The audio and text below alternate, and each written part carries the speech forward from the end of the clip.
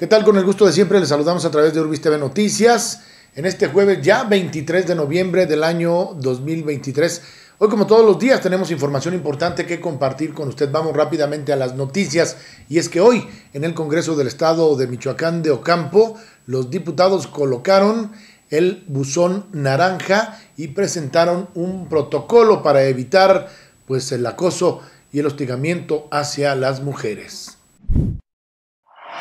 En el marco del Día Internacional para la Eliminación de la Violencia contra las Mujeres, este jueves el Congreso del Estado a través de la mesa directiva colocaron el denominado buzón naranja, que tiene como objetivo recibir las quejas de los trabajadores en contra de todas aquellas personas, funcionarios o legisladores que violenten o acosen a las mujeres. A la vez se presentó el protocolo para atender los asuntos de violencia de género por hostigamiento y acoso, protocolo que será aprobado, dijo la presidenta de la mesa directiva del Congreso, Laura Ivona Bascal, en la próxima sesión de la 75 legislatura. Estaremos discutiendo y en su caso aprobando el punto de acuerdo por el cual se establece el protocolo para prevenir y atender los actos de violencia de género en la modalidad de hostigamiento y acoso sexual en contra de mujeres y hombres.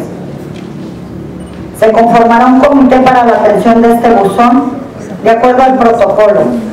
Este comité será encabezado por el titular del órgano interno de control y de otros integrantes designados por la Junta de Coordinación Política.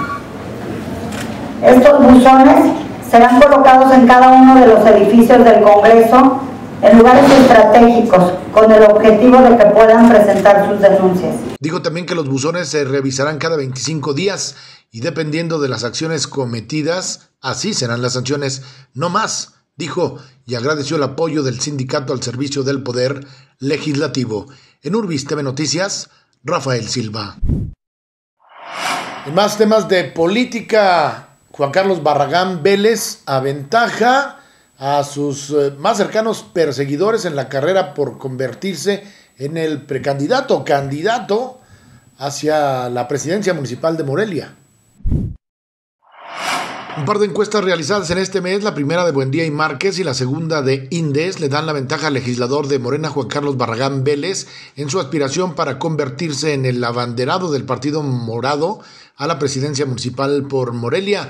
De acuerdo a la primera, es decir, la de Buendía y Márquez, el legislador se mantiene por arriba de quienes también aspiran a la candidatura como Miguel Ángel Villegas y Luis Navarro. La casa encuestadora en cuestión lo ubica con 22 opiniones positivas frente a 8 y 17 de Navarro y Villegas respectivamente. En el caso de Indes, la encuesta lo posiciona en un primer lugar en la preferencia para convertirse en el candidato de Morena a la alcaldía de la capital del estado con 29 puntos. Al respecto, el legislador señaló que independientemente de estos números, él seguirá trabajando y seguramente a eso se debe su crecimiento. Incluso dijo, en mediciones internas supera hasta con siete puntos al actual alcalde Alfonso Martínez Alcázar. Eliano y nosotros le sacamos una ventaja de, 7 a 8 puntos porcentuales sin ninguna dificultad. Ninguno de los otros aspirantes de Morena sería tan competitivo como nosotros en un proceso ya constitucional. Nosotros estaríamos recuperando la capital para el Estado, para el movimiento, para Morena, eh, aquí en Michoacán y eso haría que las cosas cambiaran. Acabaríamos con la corrupción en Morelia, acabaríamos con los moches y eh, generaríamos una ciudad de oportunidades para todas y para todos. Apuntó que entre el 24 y 26 de este mes se estará registrando para entrar a la competencia. En Urbis TV Noticias, Rafael Silva. Las cocineras tradicionales preparan ya pues los fogones y el carbón. Habremos de disfrutar más de 200 platillos tradicionales de Michoacán. Ya se encuentra todo listo para la decimoctava edición del Encuentro de Cocineras Tradicionales y el octavo Foro Mundial de la Gastronomía Mexicana que se desarrollarán del 24 al 26 de noviembre en el Centro de Convenciones y Exposiciones de Morelia, informó el secretario de Turismo de Michoacán, Roberto Monroy García. Platillos como el churipo, corundas, aguacatas de haba y frijol, Atápacua de pipián, quelites, morisqueta, uchepos y camaronillas serán parte de los cerca de 200 platillos de las siete regiones del estado que los asistentes podrán disfrutar en esta fiesta culinaria michoacana. La entrada a este evento será de forma gratuita de 10 a 19 horas y contará con la participación de 38 cocineras tradicionales de las regiones de Apatzingán, País de la Monarca, Costa Michoacana, Lacustre, Uruapan, Zamora y Morelia, y en donde además se podrán encontrar productos locales y artesanías relacionadas con la cocina, mezcales, pan y dulces tradicionales. Con estas acciones, el gobierno de Michoacán retoma el liderazgo nacional por la celebración de estos encuentros gastronómicos, generando ingresos directos para las cocineras tradicionales, impulsando sus propios negocios y con el objetivo de posicionar al Estado como un destino gastronómico de referencia en todo México. En Urbis TV Noticias, Rafael Silva. La COFOM estará también ofertando variedades de pinos. Ya se acerca la temporada navideña.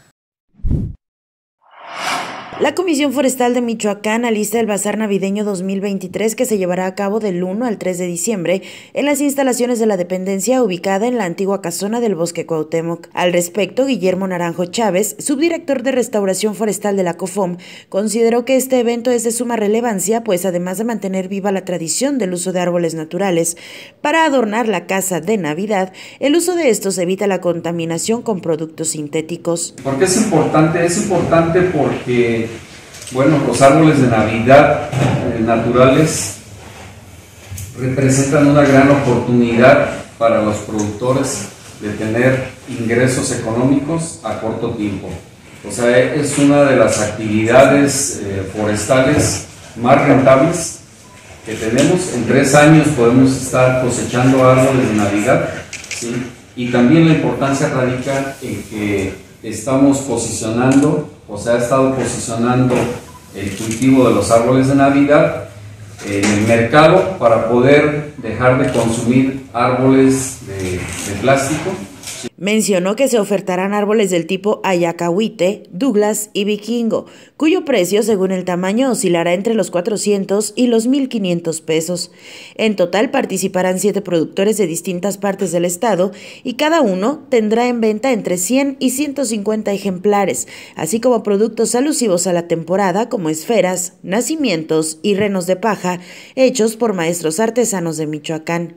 Cabe resaltar que el estado se encuentra en el cuarto sitio nacional en la siembra y venta de árboles navideños naturales, con una producción anual de 20.000 ejemplares por 11 productores forestales. En Urbis TV Noticias, Aida Espinosa. En la Peña del Coyote incineraron hoy las autoridades más de una tonelada de narcóticos, de drogas. Este jueves, autoridades de seguridad llevaron a cabo la incineración de una tonelada o 484 kilos 218 gramos y 439 litros de drogas incautadas. Con la representación del gobernador Alfredo Ramírez Bedoya, el secretario de Seguridad Pública José Alfredo Ortega Reyes encabezó este acto que tiene como fin dar cumplimiento al programa de destrucción de narcóticos incautados por el Ejército Mexicano, la Marina Armada de México, la Guardia Nacional, así como las Fiscalías Generales de la República y del Estado, la Secretaría de Seguridad Pública y las policías locales. La incineración de narcóticos se desarrolló en el Centro de Adiestramiento Regional de la decimosegunda Región Militar, en donde se quemó un aproximado de una tonelada, 453 kilos de marihuana, 437 litros de metanfetamina, 3 kilos 688 gramos de metanfetamina, 16 kilos 527 gramos de metanfetamina, 995 gramos de cocaína, 812 gramos de delta tetrahidrocarbinol, 110 miligramos de heroína, 4.325 unidades de psicotrópicos y drogas, así como otras sustancias negativas. En Urbis TV Noticias, Rafael Silva.